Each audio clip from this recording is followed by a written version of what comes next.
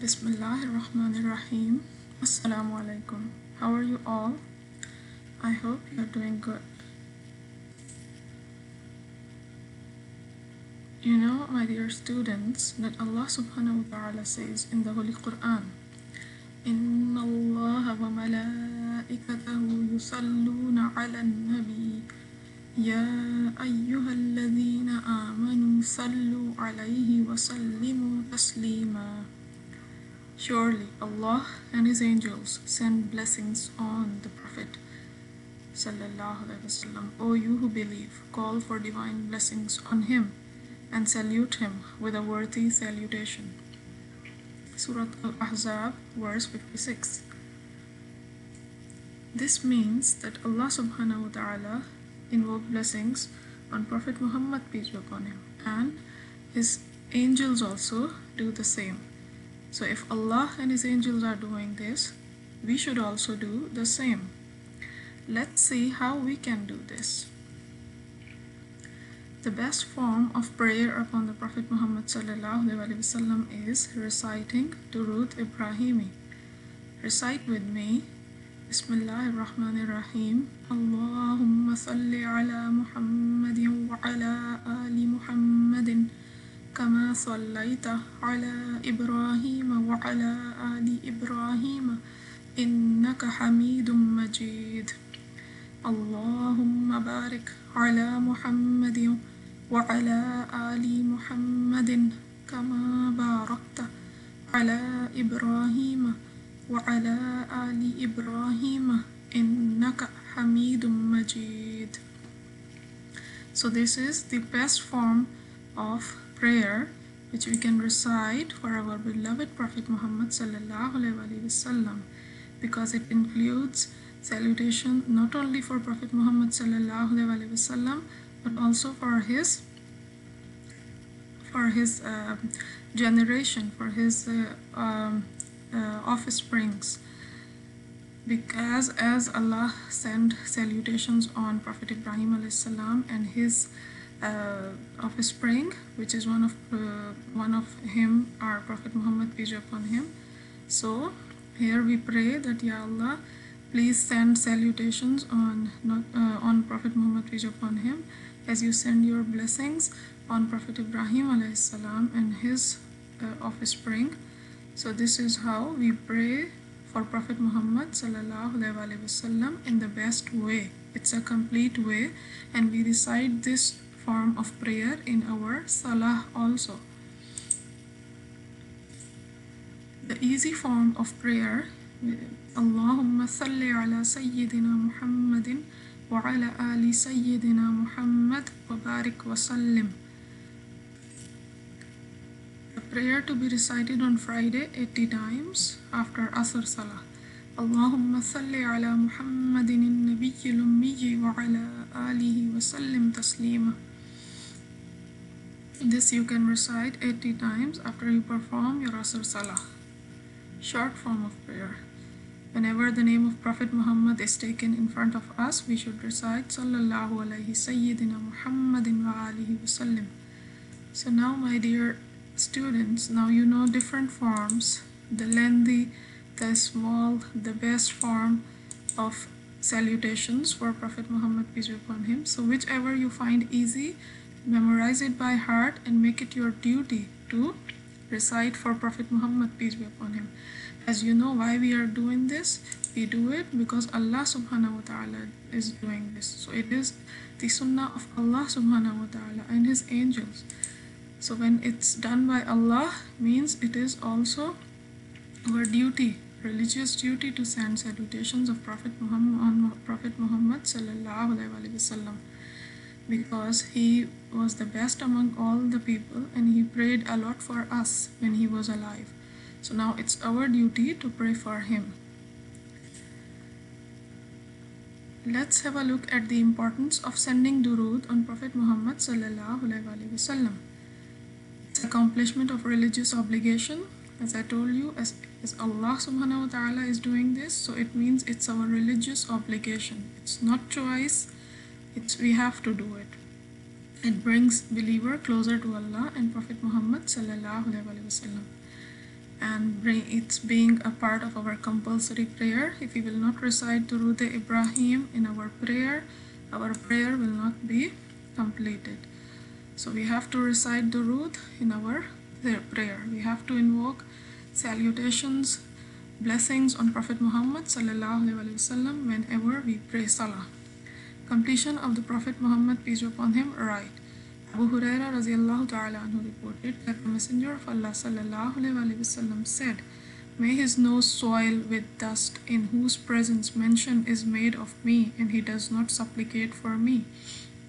So my dear students, this is very important to take uh, to send salutations on Prophet Muhammad, peace be upon him, to invoke blessings on him whenever the name is taken in front of us. If you will not do so, what will happen? Your no soil will dust. Means we will be the worst among people. We will be lower in our grades, in our status in, in this world and in the hereafter. So if we want to savor ourselves, we will recite, we should recite and we have to recite Sallallahu Alaihi Wasallam whenever the name of Prophet Muhammad is taken in front of us. Sallallahu Alaihi Wasallam. So our status will be raised and increased inshallah. Now I would like to share with you the benefits of sending salutations on Prophet Muhammad sallallahu alaihi wasallam. You will be amazed when you will know the benefits of sending salutations on Prophet Muhammad wasallam. There are so many benefits. After knowing this, you would love to recite uh, on Prophet Muhammad wasallam. I am sure about this. If we recite durood before and after every dua, our supplication, our dua will be accepted. And if we will not do so, our dua will keep on hanging between the earth and the sky. So if you want your dua, your dearest wishes to come true, always recite durood before and after your dua. So your dua will reach to Allah successfully and will be accepted, inshallah we are given reward of 10 good deeds and 10 bad deeds are forgiven for us. So you will not do anything, you will only recite durood and you will get 10 good deeds and your 10 bad deeds will be forgiven. Isn't it amazing? All your concerns and sorrows will be removed from you. You will feel light-hearted, you will feel satisfied and Allah will ease your problems for you. His needs will be satisfied and prayers will be accepted all your wishes will come to pass inshallah why? Because you are continuously making dua for prophet muhammad sallallahu alaihi wasallam.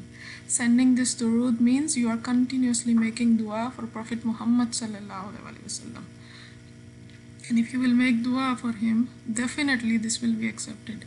And the best part of this dua is this is form of a worship which is never rejected. This is form of a worship which you are following the sunnah of Allah subhanahu wa ta'ala. So this is anyhow will be accepted from you wherever you are, whatever you do. Either you say short dua or either you say say long prayer, it will be accepted inshallah. Let's have a look at more benefits. The person who recite durood will be closest to Prophet Muhammad peace be upon him on in the day of judgment. Hazrat Abdullah ibn Masud narrates that Sayyidina Rasulullah wasallam said, On the day of Qiyamah, the person closest to me will be the one who has sent the most durood unto me. For one who sends blessing on him, it is glad tidings in his life that he has been granted his place in paradise. So would you like to be the one who stands closest to Prophet Muhammad peace upon him on the day of judgment? Yes, if you want so, you have to recite a lot of durood. And being closest to Prophet Muhammad, peace upon him, in the day of judgment means you got the glad tiding, the good news that you will be granted a place in paradise. So this is kind of a guaranteed news that you are going to go in paradise if you will keep reciting durood every time you get a time start reciting the durood on prophet muhammad wasallam to not waste any moment whenever you have time or even you don't have time or anybody takes name of prophet muhammad in front of you say Sallallahu Alaihi Wasallam. As much times I am taking the name of Prophet Muhammad, say it with me Sallallahu Alaihi Wasallam. Jazakallah. The another benefit is on Fridays, durud, send durud abundantly on me as it is presented before me. This is said by Prophet Muhammad wasallam. As I told you, the Friday prayer, Allahumma salli ala Muhammadin nabiyyi lummi wa ala alihi wa sallim taslima. If you will recite this durud or any durud on, on Friday, it will be presented, say it a lot, a lot, it will be presented uh, to Prophet Muhammad, peace be upon him, which means that it causes the worshipper name to be shown to Prophet Muhammad and the mention of the worshipper to him. It means uh, angels will inform Prophet Muhammad, peace upon him, that this person took your name, this person sent blessings on you. So, isn't it a great deal that in this entire world your name is presented in front of Prophet Muhammad, peace upon him? And this means that Prophet Muhammad becomes happy and he will look at you with happiness and when you will pray for him definitely he will pray for you. And you know your every wish will come true inshallah.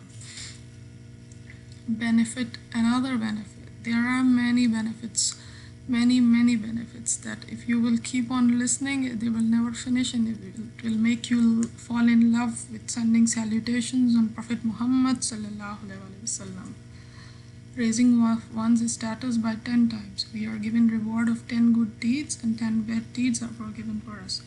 Abdullah bin Amr bin Al-As reported, I heard the Messenger of Allah wasallam saying, Whoever supplicates Allah to exalt for me, Allah would exalt him 10 times. Say, my dear students, how many blessings we will receive by just reciting the Durud. Let's have a look at more benefits. It is a safeguard against poverty. The person who keeps reciting, Allah will make him make ways for him towards uh, towards prosperity and he will earn a lot of money also he will be successful in this world and in the hereafter even it's your exam your interview your test any test any difficulty in your life you will pass it successfully inshallah so you will be know if there is anyone poor who will recite it a lot, he will no more poor. He will be no more poor. It saves one from being branded a miser or stingy. Uh, miser is a person who has a lot of money but they do not spend, even not on themselves.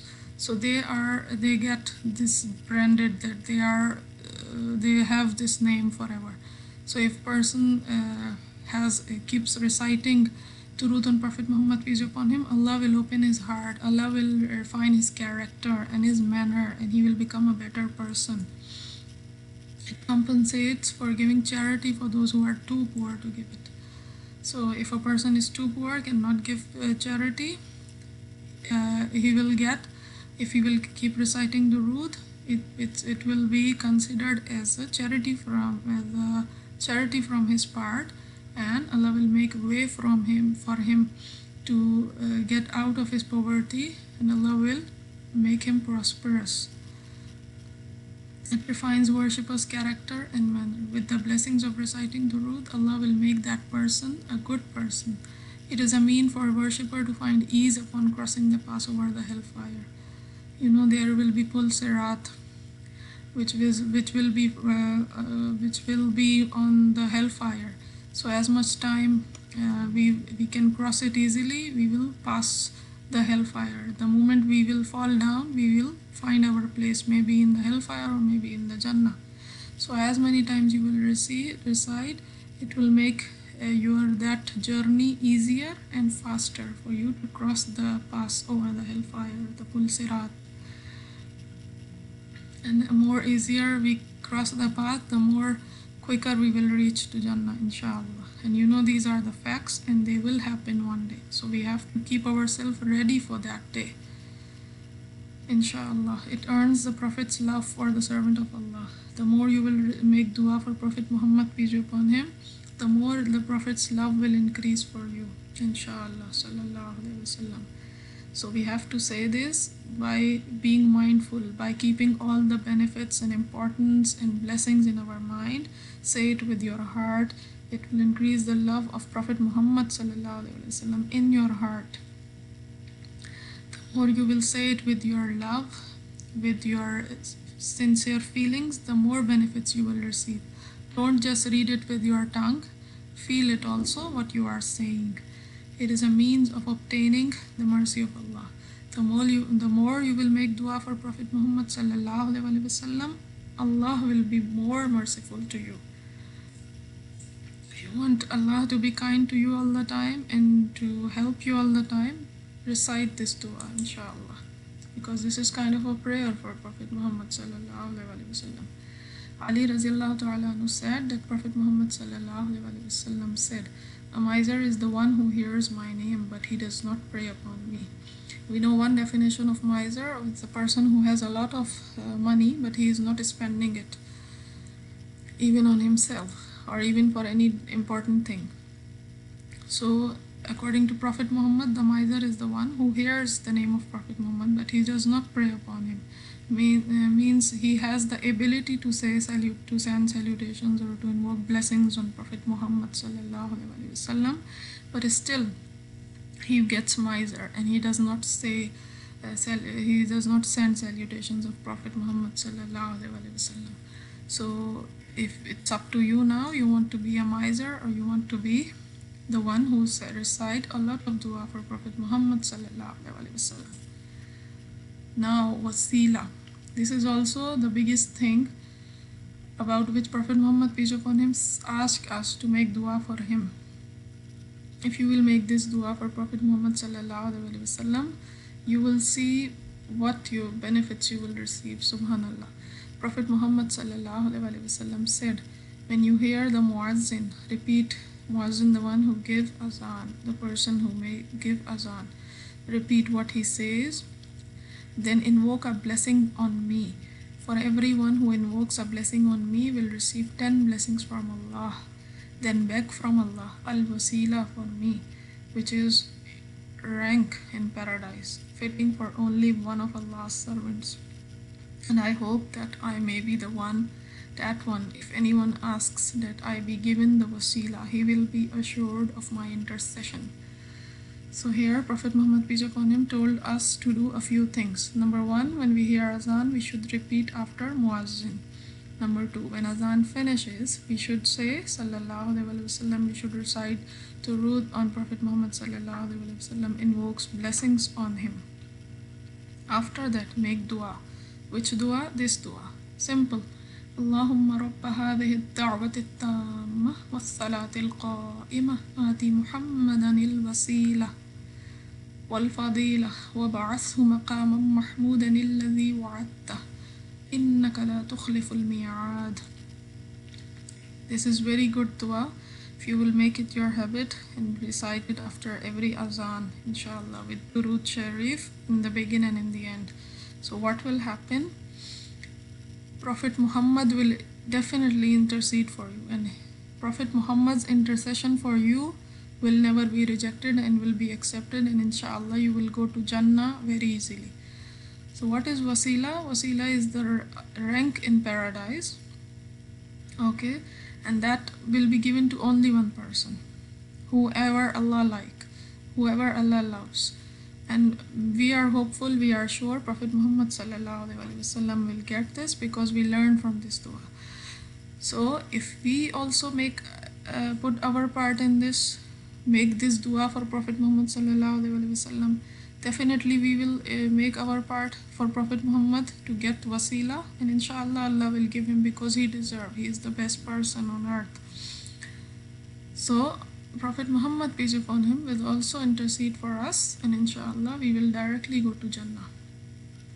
So, this is the best thing, the easiest way to get Jannah, the easiest way to earn the blessings of Allah subhanahu wa ta'ala, the easiest way to earn the love of Prophet Muhammad sallallahu alaihi wasallam, the easiest way to ease our problems and difficulties and get our wishes. I hope you will do it with love, with sincere feelings and make it your habit whenever the name of Prophet Muhammad is taken in front of you recite a lot of durood wasallam let's finish today's lesson by saying Allahumma salli ala Sayyidina Muhammadin wa ala ali Sayyidina Muhammadin wa barik wa sallim. I request you memorize any of the short or any of the best or any of the dua, any of the form of durood which you can recite easily and continuously. Learn it, memorize it by heart and make it your habit. I hope you will do this and I hope you will you have enjoyed today's lesson and I hope uh, by reciting a lot of durood we are ending up by receiving a lot of blessings from Allah subhanahu wa ta'ala thank you very much for being with me uh, and take very good care of yourself. Assalamu alaikum wa rahmatullahi wa barakatuh